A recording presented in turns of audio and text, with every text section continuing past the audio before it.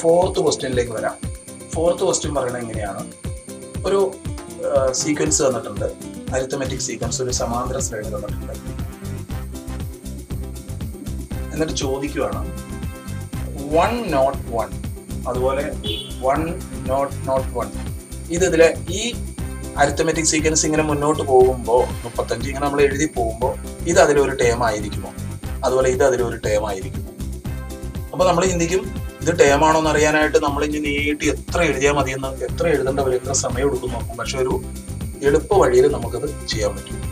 എന്ന് വെച്ചാൽ നമ്മൾ അതിനുവേണ്ടി ആദ്യം ചെയ്യേണ്ടത് നമ്മൾ മനസ്സിലാക്കിയിരിക്കേണ്ട ഒരു ഒരു എ പിയിലെ ഈ ഈ അത്തമെറ്റിക് സീക്വൻസിലെ ഓരോ ടേമിനെയും നമുക്ക് അതിന്റെ ഡി കൊണ്ട് ഡിവൈഡ് ചെയ്താൽ എന്താണ് പ്രത്യേകത എന്ന് നമുക്ക് നോക്കാം. അപ്പൊ ആദ്യം തന്നെ ഇതിന്റെ ഡി കണ്ടുപിടിക്കണം. ഇതിന്റെ ഡി എത്രയായിരിക്കും?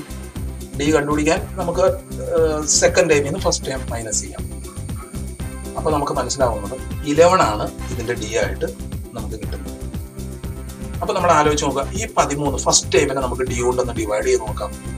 പതിമൂന്നിനെ നമുക്ക് ഡി കൊണ്ട് ഡിവൈഡ് ചെയ്യാം. ഡി പതിനൊന്നാണല്ലോ. പതിനൊന്ന് കൊണ്ട് ഡിവൈഡ് ഒരു പ്രാവശ്യം. റിമൈൻഡർ രണ്ട്. റിമൈൻഡറിനെ ശ്രദ്ധിച്ചോടനെ റിമൈൻഡർ രണ്ട്. നമുക്ക് ഇരുപത്തിനാലിനെ ഒന്ന് ഡി കൊണ്ട് ഡിവൈഡ് ചെയ്ത് നോക്കാം. റിമൈൻഡർ എത്ര വന്നു നോക്കി. രണ്ട്. ഇനി നമുക്ക് മുപ്പത്തഞ്ചിനെ ഒന്ന് ഇലവൺ കൊണ്ട് ഡിവൈഡ് ചെയ്ത് നോക്കാം. റിമൈൻഡർ രണ്ട്. കണ്ടോ? എന്ന് വെച്ചാൽ ഒരു എ പിയെ ഒരു സമാന്തര ശ്രേണിയിലെ എല്ലാ ടൈമിനെയും അതിന്റെ ഡി കൊണ്ട് അല്ലെങ്കിൽ പൊതുവ്യത്യാസം കോമൺ ഡിഫറൻസ് കൊണ്ട് നമ്മൾ ഡിവൈഡ് ചെയ്താൽ വരുന്ന റിമൈൻഡർ സെയിം ആയിരിക്കും. റിമൈൻഡർ സെയിം ആയിരിക്കും. അപ്പൊ ആ നിയമം അനുസരിച്ച് നമുക്ക് ഈ വൺ നോട്ട് വൺ ഇതിലെ ഈ സമാന്തര ശ്രേണിയിലെ ഒരു ടേം ആണോ എന്ന് അറിയാനായിട്ട് നമ്മൾ എന്ത് ചെയ്താൽ മതി? ഈ വൺ നോട്ട് വണ്ണിന് നമ്മൾ ഇതുപോലെ തന്നെ ഇലവൺ കൊണ്ട് ഡിവൈഡ് ചെയ്തു അപ്പോ ഇലവൺ കൊണ്ട് ഡിവൈഡ് ചെയ്താൽ നയൻ ടൈംസ് നയന്റി നയൻ വരും. രണ്ടാണ് റിമൈൻഡർ വരുന്നത്. അപ്പോൾ ഇത് ഈ വൺ നോട്ട് വൺ തീർച്ചയായിട്ടും ഇതിലെ ഒരു ടേം ആണെന്നുള്ള കാര്യം മനസ്സിലാക്കാൻ പറ്റും. അതുപോലെ തന്നെ ഇത് ആണെന്ന് അറിയാനായിട്ട് അതുപോലെ തന്നെ നമ്മൾ ചെയ്യണം പതിനൊന്ന് കൊണ്ട്. അപ്പോൾ നയന്റി നയൻ വന്നു. പതിനൊന്നാം വൺ ടൈം സീറോ തന്നെ കണ്ടോ? അപ്പൊ റിമൈൻഡർ ശരിയാണോ? അപ്പോൾ റിമൈൻഡർ ടു വന്നാലേ ഇതിൽ ടേം ആവും അപ്പോൾ നമ്മൾ മനസ്സിലാക്കിയിരിക്കണം ഒരു സമാന്തര ശ്രേണിയിലെ ഏത് ടേമിനെയും അതിന്റെ ഡി കൊണ്ട് ഡിവൈഡ് ചെയ്താൽ വരുന്ന റിമൈൻഡർ സെയിം ആയിരിക്കും. അപ്പോൾ ഇത് റിമൈൻഡർ സെയിം അല്ല. അതുകൊണ്ട് ഇത് അല്ല ഇത് ആണ്. നമുക്ക് മനസ്സിലാക്കാൻ പറ്റും. പതിനൊന്ന് ഇരുപത്തിരണ്ട് മുപ്പത്തി മൂന്ന്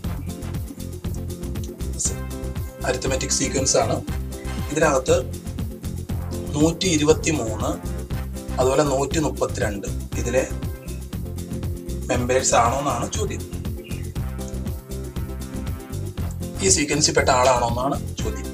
അപ്പം അതിനുള്ള ട്രിക്ക് നമ്മൾ നേരത്തെ തന്നെ മനസ്സിലാക്കി. ഒരു സീക്വൻസിന്റെ ഓരോ ടേംസിനെയും ഡി കൊണ്ട് ഡിവൈഡ് ചെയ്യുമ്പോൾ കിട്ടുന്ന റിമൈൻഡർ സെയിം ആയിരിക്കും. അപ്പൊ നമ്മൾ ഇതിന്റെ ഇതിന്റെ ഡി എത്രയാണ് നമുക്ക് മനസ്സിലായി? ഇരുപത്തിരണ്ട് മൈനസ് പതിനൊന്ന് ഈക്വൽസ് പതിനൊന്നാണെന്ന് മനസ്സിലായി. അപ്പോൾ ഈ ഇലവണ് ഇലവൺ കൊണ്ട് ഡിവൈഡ് ചെയ്യുമ്പോൾ ആണ് റിമൈൻഡർ കിട്ടുന്നത്. ഇതിനെ ഇരുപത്തിരണ്ടിനെ ഇലവൺ കൊണ്ട് ഇത് ചെയ്യുമ്പോഴും ടു ടൈംസ് പോവും ആണ് റിമൈൻഡർ കിട്ടുന്നത്. അപ്പോൾ നമ്മൾ സിംപിളി നോക്കിയാൽ മതി. വൺ ടു ത്രീനെ ഇലവൺ കൊണ്ട് ഡിവൈഡ് ചെയ്താൽ എന്ത് സംഭവിക്കുന്നു നോക്കാം.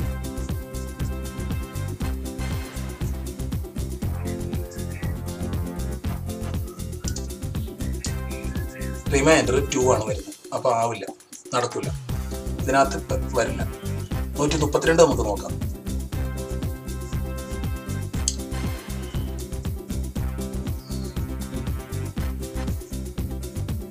ഓക്കെ നൂറ്റി മുപ്പത്തിരണ്ട് ഈ സീക്വൻസിലെ ഒരു ടേമായിട്ട് വരും.